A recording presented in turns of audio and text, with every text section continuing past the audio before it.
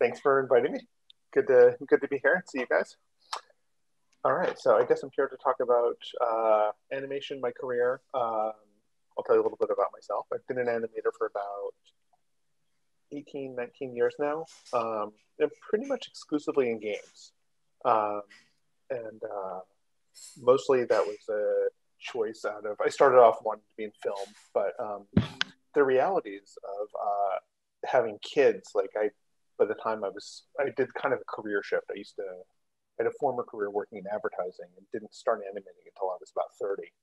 Um, and then just uh, and because it was a while ago, it wasn't as easy to learn animation. So um, to, I was pretty much self-taught. So it took me about five years to put together a demo reel, um, like working days, and then coming home and learning how to rig.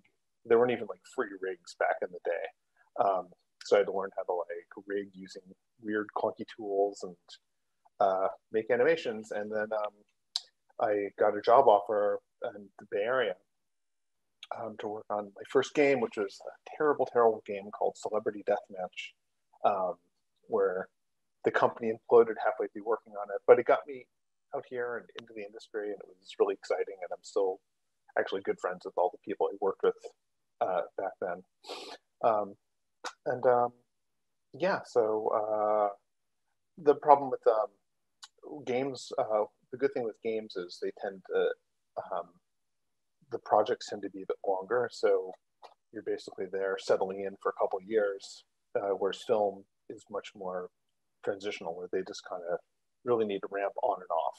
Um, and that was a challenge to do with uh, young kids. So um, I ended up in games and uh, love animating. I've definitely seen the industry change quite a bit, um, which has been interesting because uh, when I started off, it was most companies were about 40 people companies for like around the PlayStation 2 days. And uh, it, it, was interesting because you could do a lot. Like you could, um, if you wanted to do some effects, you could do them. You um, could kind of jump in and be a little bit of a jack of all trades. In fact, they most a lot of places they weren't even like animator roles; they were game artist roles. And so I'd go places and they'd be like, "All right, could you model the hero character?" no. and so uh, um, I ended up specializing in kind of rigging and animation. And then after a while, I deliberately let my rigging skills fall off because I'd end up having to kind of come in and do a ton of rigging on a project, which is then my reel wouldn't be as good because I'd be doing all the rigging. But um, it's also become that's another area where it's become so specialized um, mm-hmm. in in an interesting way because now people are you know, effectively programmers and like high level problem solvers. And so um, I always have a, I always have a soft spot for riggers because uh, they can make your life so much better. Um, but you know, it's also important to know how to do these skills. Like basically, the more you can do, the better. Um, all right, so it's a little my first first ramble. Um, I don't. I like to talk. Can I jump in and ask, some people may not know what rigging is. Do you mind describing what rigging is? Sure. So rigging is when you animate a character. Um, if you open up Maya and you're ready to go, someone's had to set up this character for you. So it has basically a skeletal system inside it where you know each joint is you know to move a hand there'll be just like a, an underlying structure of joints and then there'll be usually a duplicate skeleton with controls to let you move stuff around. So it's this big kind of feat of engineering to uh, do some, uh, uh you know, to, to make this a, a digital. Um, uh, what was I going to say? Um, all right, it's got a question. Get that in a minute. Uh, but basically, it's setting it up a digital puppet, and it's basically this kind of half art, half science um, way of doing this. Um, so, yeah, so kind of off track. Um, Monica, point me in another direction to talk. okay, so um, so you started with your career at the very beginning. You wanted to do film, but then decided to go into games. Now, is it something because it uh, you landed you landed into games by you know just by uh, purpose or by accident, or how did th- how did that transition happen? You know, it was kind of funny. I was um, back in the day. I just was animating for fun. I didn't really know what I was going to do with it. I kind of um, it was in the early days of 3D where it was more accessible um, to you, like basically having to do it on your home computer. Um, and before it was like you need like a Silicon Graphics workstation, a Maya, and that was like 40 grand for that package. So unless you were at a place where they had that and you could learn it, um, you kind of we all had to wait a few years until we could get software that was uh, more accessible. But it was also pretty clunky. But so long story short, I ended up doing this little like stop motion style piece just because I liked Wallace and Gromit and stop motion. And um, I got a job offer. Someone looked at it and said, "Hey, do you want to interview for this job out in California, doing uh, working on a stop motion game? We really thought you nailed the style we're working on." And so I flew out to the Bay Area from New York City and um, uh, accepted it. Moved out here and took a massive, massive pay cut to start my career over, like in my early 30s. Um, but it was really exciting, incredibly fun. Um, Nowadays, though, um, uh, I think you mentioned there was a little while ago, but now, um, do you feel like education and knowing the animation, like stop motion or 3D animation, do you feel like you have to cater to certain companies to be able to apply to those jobs, or how do you feel about, you know, learning the skill and the and the needs of the company? Well, that's a really really good question. So it in the early days, you could be a lot more of a generalist, and you could kind of just figure stuff out as you go now because there's so many schools out there and there's um, the industry is a lot more mature um, you really like say if i was going to work like i'll give you an example so i've worked at a bunch of places and what i've kind of done is i jump back and forth i'm much probably better at cartoony animation and that's more my skill set because that was my interest going into it um, but I've jumped around back and forth between motion capture, high level realism jobs, because there's more of those out there, especially at the higher, the higher levels. But like the AAA titles are generally um, more like that. So I tend to, I don't have just a standard demo reel. I basically have a lot of animation pieces that I assemble and target to each company I'm applying because it's really specific now. Um, and I learned my lesson because years ago, I like really wanted to work at LucasArts and work on Star Wars because you know an animator who doesn't want to work on Star Wars.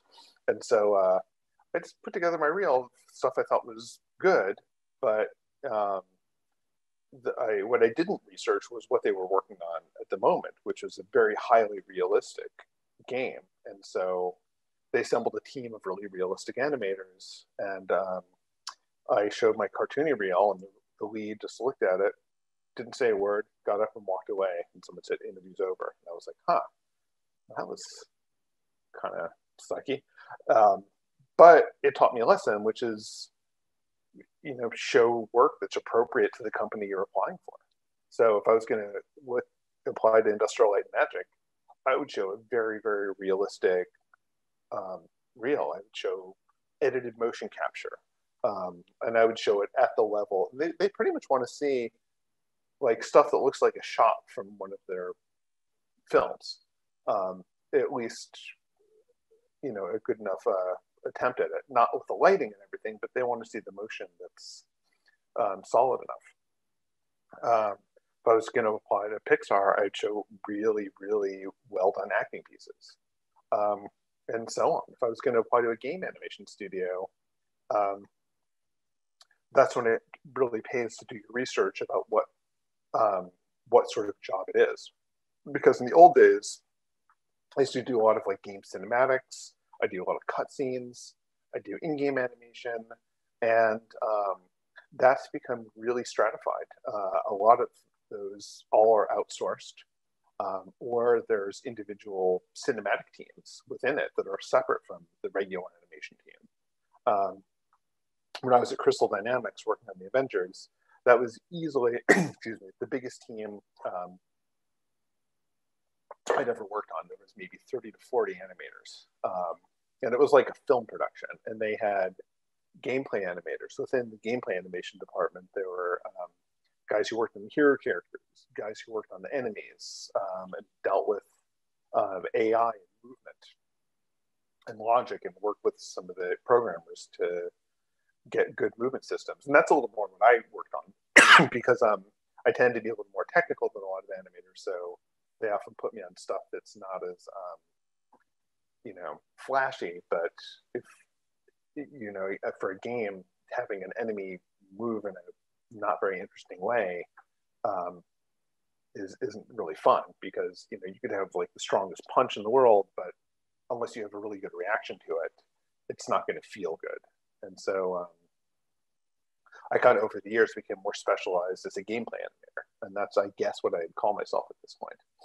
Um, so yeah, so I mean, really, it, it's um, uh, especially because with the amount of people out there looking for jobs, I kind of feel like um, you really have to do your homework and um, you know, and this is, I'll digress a little bit. This also, you know, if you guys are interviewing for internships and things like that, um, and this is just kind of a general life skill. Um, like people, if you're interviewing, um, it's really good to be proactive.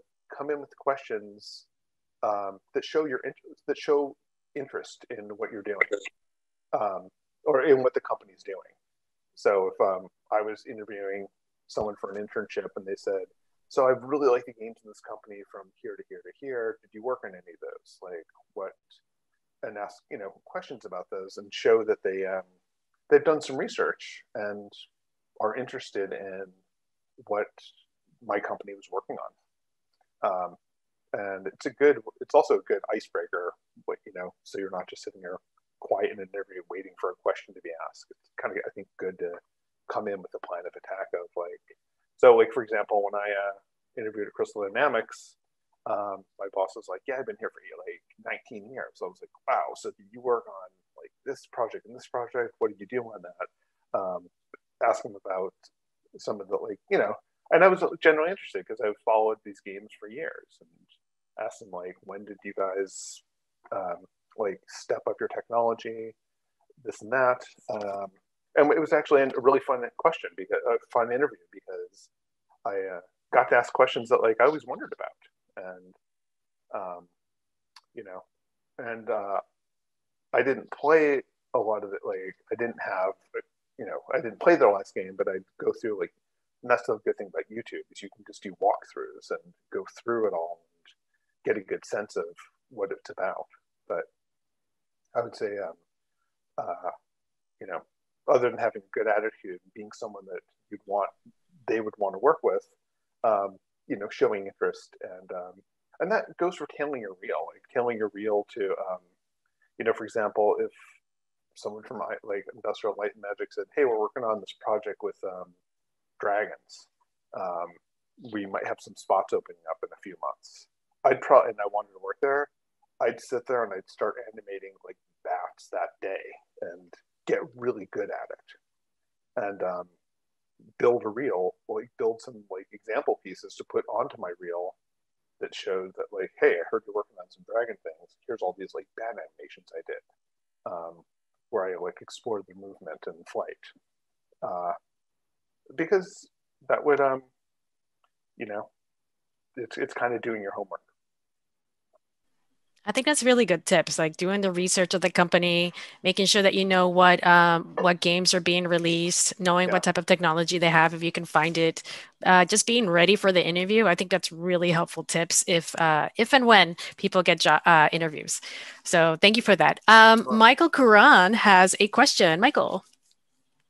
Awesome. Hey, Monica, thanks for doing this. Uh, Jeff, thanks a ton for being here. Um, sure. Uh, I'm the head baseball coach here at Ohlone and teach kinesiology. So oh, nice. uh, uh, I'm not a big video game guy, but I got three boys with me right now who are fired up to to see us. Awesome. So I appreciate you a ton. Um, hey, two two kind of practical questions. Um, yeah. I guess they're wondering.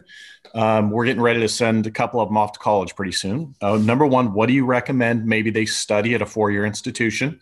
And then number two, on a practical level, how do they kind of get in the business? What are some internship places, and what are some things you recommend to help them do what you're doing someday? Um, that's a good question. Uh, those are all good questions. Uh, and I have a son who just started college this year too. So I, um, hmm. uh, I, I think for animation, it's really specific. It used to be. I actually don't think your degree, like if you want to get into animation, your degree does not matter that much. Um, I would probably like as much art anatomy like art matters anatomy matters um, you know any anything helps but for uh, to get an animation job the only thing that matters is a demo reel. Um, degree doesn't matter. No one's asked me my gpa uh, i there's a second career so i have an english degree um, and i have a master's degree in painting and that got me into like photo retouching and work in advertising but um, no one has ever asked me what my GPA was or anything about my educational background. All they care about is my demo reel. Okay, so it'd be kind of very similar to um, if if I get if I get film on a uh, you know a, a pitcher, uh, I, yeah. I, I want to see what this kid can do. So you guys want to take a look at maybe what he's produced and what what they're kind of doing, correct? Yeah. Okay. Okay. Um, and then on, like I said, on a practical level, um, you know once they're done with college how do they kind of how do they kind of break in? Uh, is it internships? Is it uh, just pounding the pavement and looking for companies to interview with? Or what what are your recommendations there? Um, connection networking. Okay. Like networking is the single biggest thing because just sending out it's like making cold calls. It's um, you know uh, uh it's like I, I think this is kind of how the world works, and not a nepotistic way, but I think people like some kind of connection, um, and it works both way. I actually got hired by a student of mine um, a couple of years ago. It was just like, like, oh, my teacher, like, old teacher is great. I learned a ton from him. He'd be really fun to work with, and that was a good experience. But I think um, you know, like like looking for like internships is uh, like getting a reel together, getting some work together, and just applying early. I think internships there's a narrow window of like you don't start applying in like April. I think by that time they're all taken.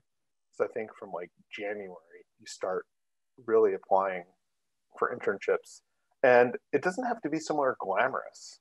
You know, it doesn't. I mean, obviously, if you're getting an internship at Pixar, it's going to go well for you professionally. But um, you know, I, like I would, uh, you know, find places that you like or, nearby. Um, you know, uh, in the Bay Area, there's tons of studios nearby, and just start uh, calling their HR departments or emailing, finding who the HR person is on LinkedIn, and email say like, "I'm a student, um, really interested in internship. Um, could I apply? And a lot of places they may not have a formal internship program, but they might be like, yeah, we got a lot of work. We could probably use a little bit of help. Why not get some students in? Um, so I think being proactive, you know.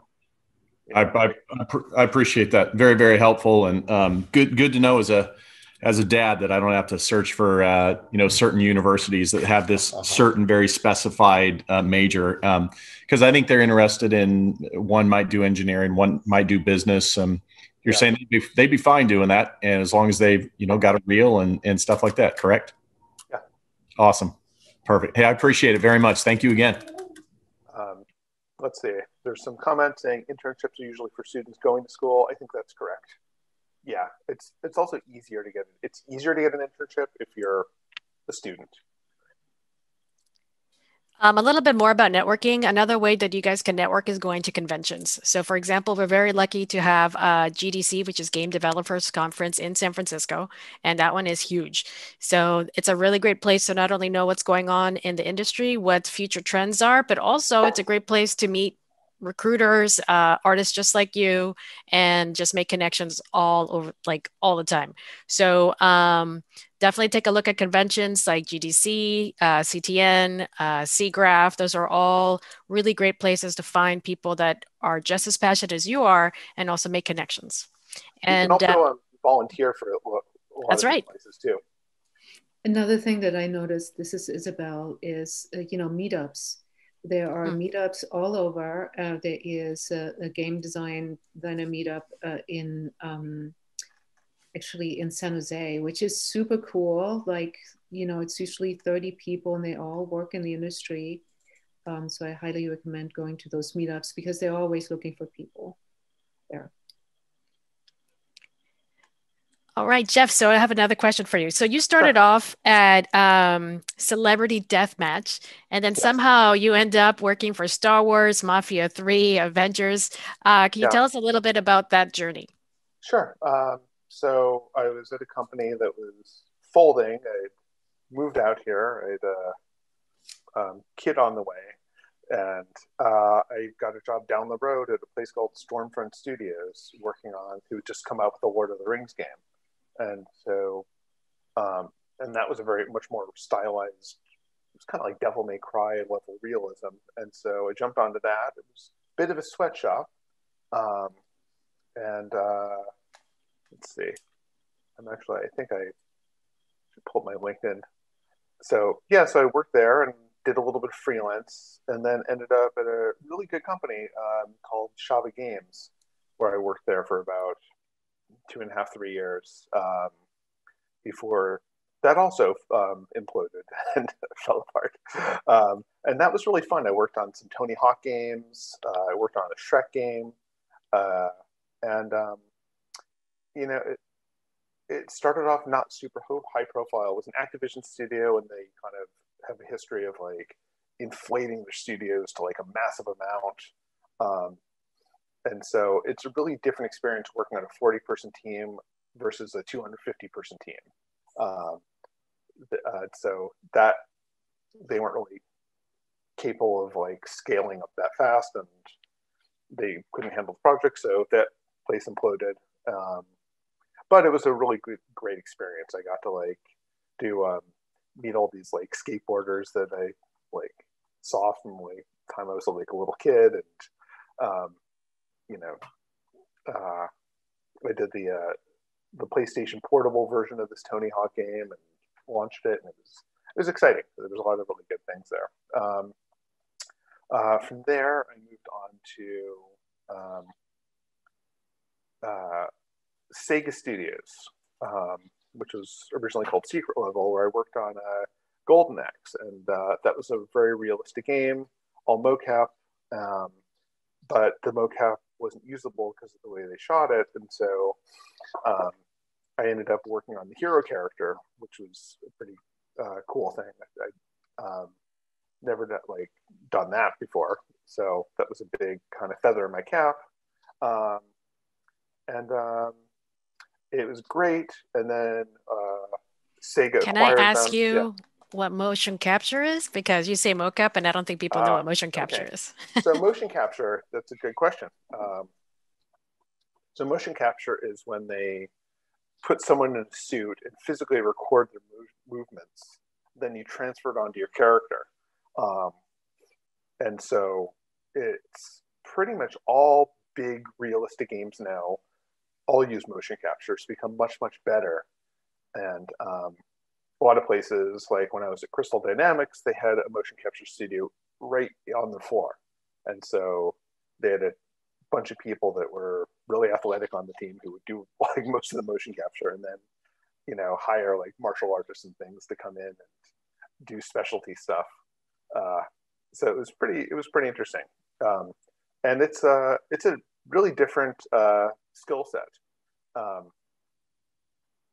uh, it's a really different skill set to um, uh, what was I going to say to, to, like to edit motion capture um, because it, there are these big long files and you have to kind of speed up the timing and still preserve a sense of realism and it's it's a whole thing.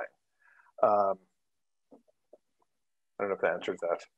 it's uh it did. Thank you. But it's one of those things where it's worth actually um, downloading some free motion capture and like playing around with it and trying to edit it just to see what it's like. Because it's a it's a, it's a it's like using your animation skills um, in a more technical way. But it's super it's a super important skill to have. And so um, i actually man it was actually kind of interesting because they had a, a thing where they had one button mapped to the motion capture and one button mapped to my moves and they were trying to decide whether they were going to go hand key or motion capture. And so fortunately they went with hand keyed and so it was a more fun project for that. But um, yeah i mean motion capture is it's here to stay and it's you know it's important. I would say it's a pretty vital skill to know how to edit as an animator.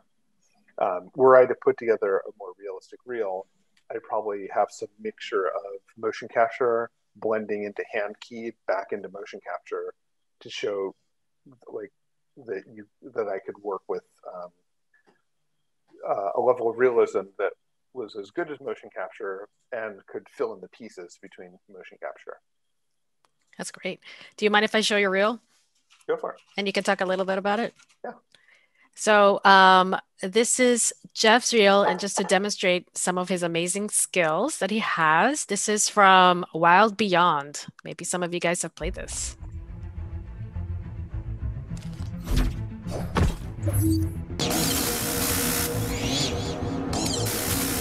So the music's very cool. I'm gonna go ahead and mute it. Jeff, do you want to talk a little bit about this about this animation? Yeah, it's not showing up on mine, but I know what it looks like. So. oh, okay. But um, yeah, so basically, this oh. is the first. Actually, that's a good game. question. Does anyone see it? Yeah, it's showing up for me. Okay, great. Yeah, we can see it. Thank you. Um, let's see. Uh, yeah, so this is basically um, was the first mobile game I worked on uh, and it was pretty challenging to work in mobile, um, surprisingly. Uh, and there were some good and bad things about mobile. Um, it's mobile games are a different culture than game stu- like traditional game studios. They more have the culture of like a tech company. Um, however, um, it was really fun working on these like charming little, you know, cartoony models, and just trying to like inject as much entertainment as I could within them. Um, so that was a, a, pretty fun thing. Um, yeah, that's pretty much it. Uh, it was mobile companies are different than. I mean, I think the real speaks for itself. They're just sort of like silly, charming little, or attempting to be charming little animations that make you want to play the game. The actual gameplay animations are not interesting at all because they're like so small on the phone that you can barely tell what's going on. So we there wasn't really that much to do for those. Uh, but so you spent all your kind of budget on these little kind of interstitial character moments, which for an animation animator is really fun. But um, yeah, but mobile companies are really different because they really have the culture of a tech company where they're constantly running metrics on what you're doing constantly sending it out for testing and giving you feedback that's um, like, does this animation uh, will it sell more things? And it's it's a weird uh, it's a weird uh, kind of way to work because a lot of times your creative direction isn't coming from creative, but coming from testing and focus, like focus tests, and that can be um, I, have never really got used to that because uh, I'm not convinced that testing's accurate enough. Like it's hard to um, it's hard to like quantify. Is my animation charming enough to sell more units of whatever they're trying to sell? Um, I, I, don't think it 100% works, but um, they have all these, you know, Ivy League data modelers who are really convinced that's how it goes, and so you just kind of roll with it and make changes. That's that's also another thing when you're working for someone else. Um, you really have to be flexible about making changes uh, for the sake of the project, even if you feel like sometimes I've made my animations worse to make it more consistent with the rest of the animations. Uh, and that's kind of what your lead is. I would say like my best advice is to trust your lead animator. And when they're asking you to make changes, don't be defensive about it. Just um, make those changes gracefully. And um, you know that was like that was one of those things when I started off uh, as an animator.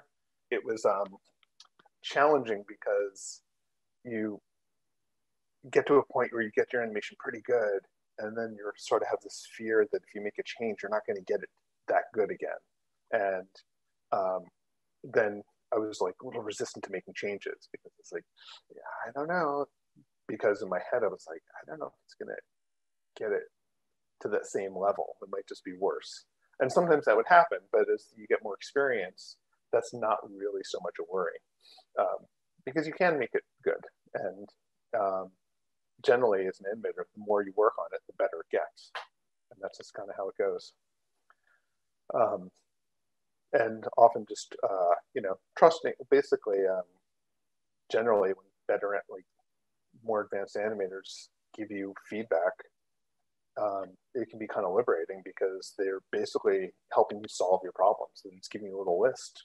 Um, it's funny, a friend of mine, he's uh, head like he's one of the lead animators at Disney, and he got to start at Blue Sky, and it was they'd hire like tons and tons of interns and um, apprentice animators, and uh, a lot of guys would just be like, or women, they'd just be like, get these changes and be like, yeah, I don't know, I don't agree with that and he's the third. His attitude was really humble. He just wrote down everything they said, made all those changes, and he said, they just basically gave me this list of how to make my animations more awesome. And um, he got a staff job there, and his career has been spectacular ever since. But um, that's, I guess, my other advice I'd want to impart is a sense of, you know, humility in being receptive to learning and making changes. I think that's a good tip. Um, it looks like Sam Samuel, you have a question? Yes. Can you hear me all right? Yes. Yeah. Okay, cool. Um, firstly, I want to say, Mr. Cooperman, thank you for being here and uh, providing this presentation, everyone. We really appreciate it. I have a couple of questions I wanted to run by you since you're a veteran in the industry. Um, so just a, a, little bit about myself for context for the question. Um, I worked as an intern at Ubisoft in San Francisco. Okay. I worked on the community management team a few years ago. Um, during the launch and live phases for a couple of their games like Watch Dogs 2, For Honor, uh, okay. Rock, Rocksmith, um, Mario Rabbids. And so my overarching goal back then was I always wanted to get into level design. Yeah. So I returned to school and I'm a computer science major currently. Mm-hmm. Although, you know, things changed. So now I've kind of uh, taken a passion into graphic art. Yeah. And so um, I, I, really like designing logos and visual design. And uh, I I want to be a graphic artist, but I don't really have traditional art skills like pencil sketching or painting. Um, I'm kind of better with software and I'm a little more technical, kind of like how you said um, about yourself. And so I wanted to ask you, what advice would you have for someone who wants to work on games as a graphic artist? You know, is there room on a game dev team for someone like uh, like me? Um, and maybe there's uh, some standard software you could recommend learning, something that's uh, accessible with minimal barrier to entry. Yeah, well, I would say, I mean, actually, I have a former background as a graphic designer. So that's what I did. Uh, my background was I went to art school for painting, and um, that led to kind of being a photo retoucher in the advertising industry. And uh, as I was there and there was a need for it, I kind of basically learned graphic design through just a lot of hard work and just um, being in the right place at the right time and getting opportunity. Um, I, I, think um, graphic design. Well, the thing is, like when you say graphic design, there's no graphic design for games. There's um, UI design, there's UX design, and then there's the graphics that come with texturing. And so, uh, my without knowing any of your work or background or experience, um, I would say um, you know, you could always like, I mean, I think like education isn't something that stops. Like having a computer science degree is not going to preclude you from being a level artist. um, I, I think you can bring all your skills. Basically, you can play to your. I always encourage people to play to their strengths. And so, if you have an interest in doing like logos, do lots of logos, and then figure out where that's going to fit in. Um, I mean, you could design like what I would say is do something like the Unreal Engine um, or Unity, and like build some environments and build some um, make a lot of like posters, like make a shopping mall with a lot of cool designs and posters. Uh, design an environment that you think is really cool and appealing um, with things that you like in them. And I think you'll probably find a way to make that work because, um, you know, like level artists, some are architects, some people have come from different ex- like experiences, but I think if you're making stuff that's compelling, um, you'll be able to find a way to do it. Um, like to do things with it because um, a lot of times with games, there's a lot of like invented branding that goes with things. Um, if you look at things like I don't know, think a game like Mirror's Edge or something, where they have this whole like futuristic city, and they've basically had to invent kind of this graphic language of products and things that are all just invented. Um, I don't know. Does that kind of make sense? Yeah, that was very insightful. Thank you. I appreciate it. Sure. I got one other quick question, um, yeah. which may not have like a clear cut answer, but maybe you can elaborate a little bit on this. Um, in terms of the process, um, do you have much creative control over your animation and the direction you want to take the art, or do you have to fulfill requests that come from the the dev team, or how does that work? It varies. Actually, it's a good question. Um, I I actually I hit a point in my career where I would rather have a job that gives me a little more creative control than um, a place like I mean, for example, like the Avengers project. I, t- I took that because I knew it was a high profile profile project. It would look good on my reel. Um, it's impressive. It'll it's more marketable, but the work was a lot. Like there was not a lot of creative control over what I did there were some I did some pre-visualization of some of the superhero finishers where I'd have like Thor like rise in the air and like throw a hammer down and dive down and grab it and then smash a robot or something. So there were some, but not a lot. It was more just the execute like the creativity was in the execution.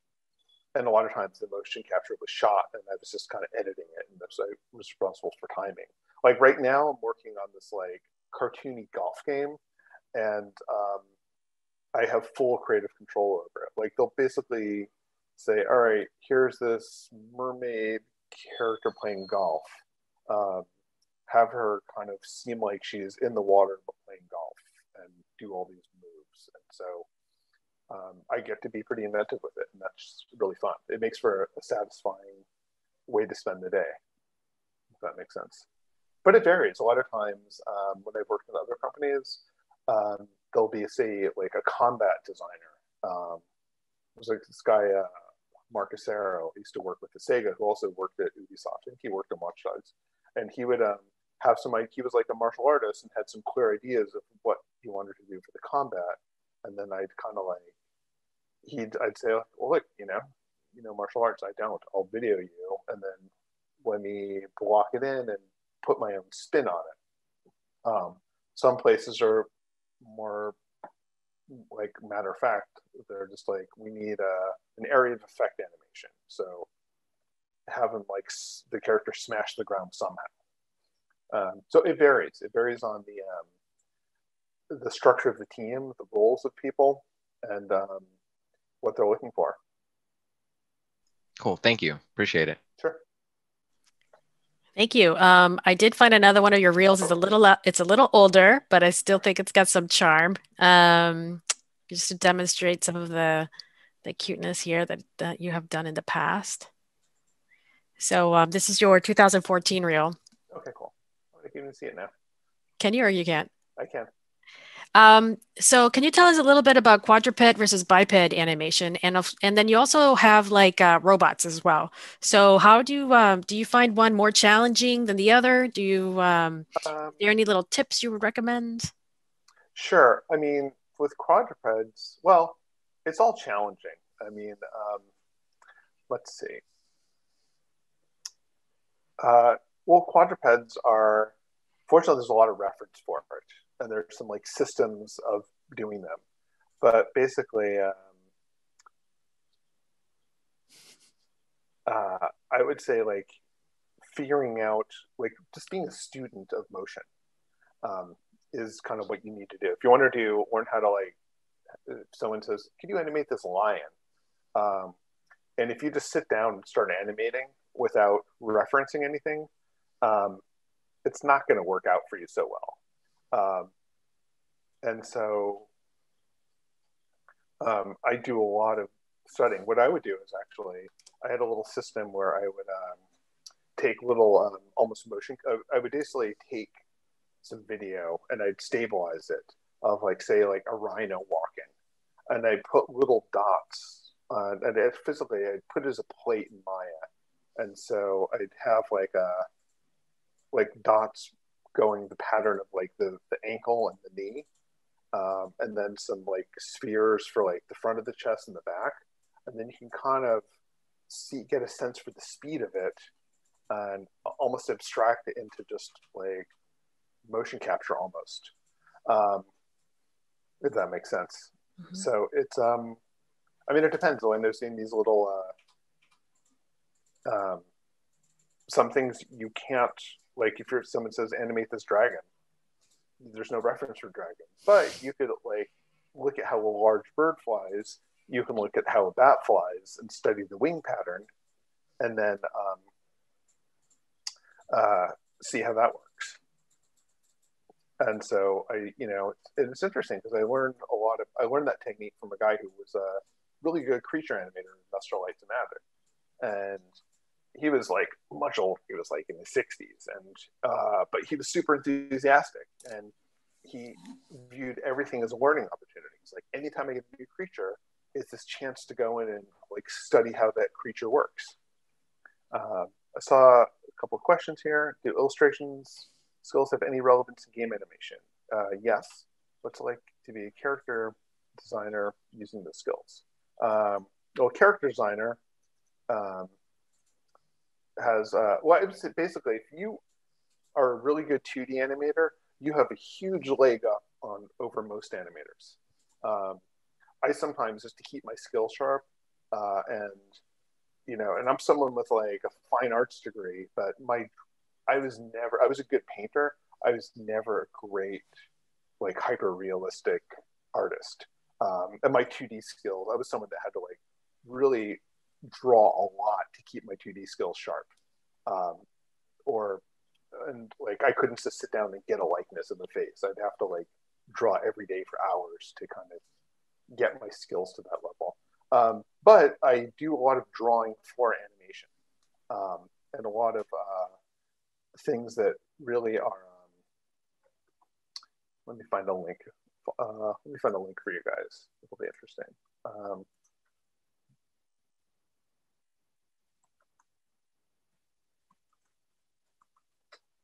Um, While you do that, I've noticed that you mentioned Maya a couple of times. Is that the primary software you have been using uh, while you've been an animator? Yes. Uh, that's pretty much become industry standard. Uh, when I started, it was um, 3D Studio Max and Maya were the kind of um, like the, the two things that they were um, uh, split between.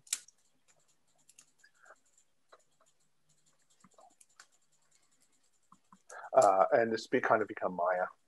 Hmm. Uh, now, because you use motion capture, do you also use Motion Builder, or do they um, do yes. they already? They, oh, you do use Motion Builder too. I've okay. used Motion Builder a lot. Some places, when I was at LucasArts, our lead decided we shouldn't use Maya at all. We should only use Motion Builder, and he oh, built wow. a whole pipeline around Motion Builder. And no one was happy about that um, because it's not as precise a tool, so it's hard to get like really accurate poses. Um, so I just sent this this link out, and um, uh, if you look on, I think Flickr there is, um, oh yeah, there we go. I found it. Uh, Victor Navone, who's a pretty famous animator, as much as any animator's famous. Uh, he does these really amazing, um, really simplified like sketches uh, for his. Um, it shows his like planning process, and this is about the level I draw for my animation. And sometimes I'll use little um, 2D uh, um, animation tools. I'll like just practice little like bouncing balls on my phone just to keep my skills sharp. Um, but what, uh, what I think um, uh, 2D skills are really uh, good for, uh, not good for, but where it can really give you a leg up is um, line of action and doing sketch over. So what I'll do in my process, especially when I'm doing something cartoony, is I'll do my animations and then I'll go in with like this digital grease pencil and I'll sketch over my poses and make them better because it's easier to make your poses really shine doing something kind of hand drawn versus um, uh, not. Um, if that makes sense. Um, That's great. These are beautiful. So, so in yeah, the chat, everybody, you can find the link in the chat. Um, let's see. Jen, you have a question? Jen Oliver? Yeah, hi there. Um, thank you, uh, Mr. Cooperman, for taking the time um, to meet up with us. Um, so I, I, asked this earlier, um, but I guess the, the chat kind of just scrolled through.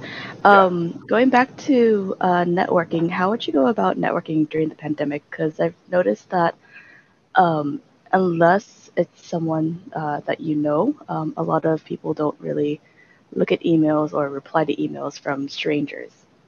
I think that's true in non-pandemic times too. I think that's like why it's a good question because I think about um, if I lost my job, how would I get another one right now? Um, and that's something that fills me with dread because I'm like, crap, because I can't go out for a drink with somebody and you know meet other people on their team or you know like it's it's it's a challenge and it's something we're going to have to all deal with. I think finding a way to um, and I don't know I don't know if um, Facebook groups or um, kind of Zoom meetups are the way to do it. But I think, um, uh, you know, I think, I mean, in the old days, there was this um, thing, an informational interview, where you could just ask for a, kind of a like a almost like a test interview where you meet someone and say, you know, um, you know, like uh, find someone on like online or somewhere and say, um, "Look, I'm a student. I'm trying to break into the industry. Um, would it would you mind having an informational interview with me? Take a look at my work. Let me know what you think. Um, any suggestions of how to target myself more effectively?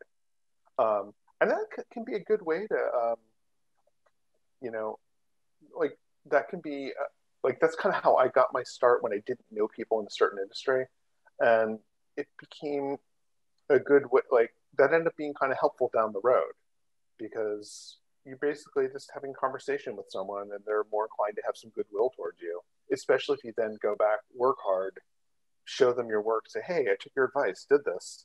And that's kind of like those are kind of the ways like one can get a mentor. Um, and it's not there's no cut and dried way to do it. Uh, and i'm just kind of sounding stuff out. Um, because I, I don't really know. Um, I don't know the, um, you know, I don't, I don't think anyone knows because it's such a weird time. The one thing people do have now is time. You have time and captive audiences. So if you can find people that are willing to speak with you, um, they, it's easier because they're home. They have, you know, like I'm working today, but I can take an hour and chat with you guys. I don't have to go anywhere to do this, and it's pretty easy to fit that in. And so, on the same note, maybe if someone said, "Would you mind uh, having a Zoom chat, like talking about my work and some suggestions for my career?" I'd be happy to do that uh, to somebody. No one's ever asked me that, but um, I, I think finding ways. I mean, I think you know what it is. It's being resourceful, and um, it's being resourceful and being personable is really what it is. Like, and I think finding, you know, when people say pound the pavement, what does that mean? It seems like kind of abs. It's this abstract thing of like, how do you? Uh, and this is the hardest thing I remember when I was starting off my career, like right out of college. I had no idea what to do, like how to get a job, and I ended up having to like work in a bookstore for a while, and like it was like a legal temp for like a year and a half until I kind of did these things.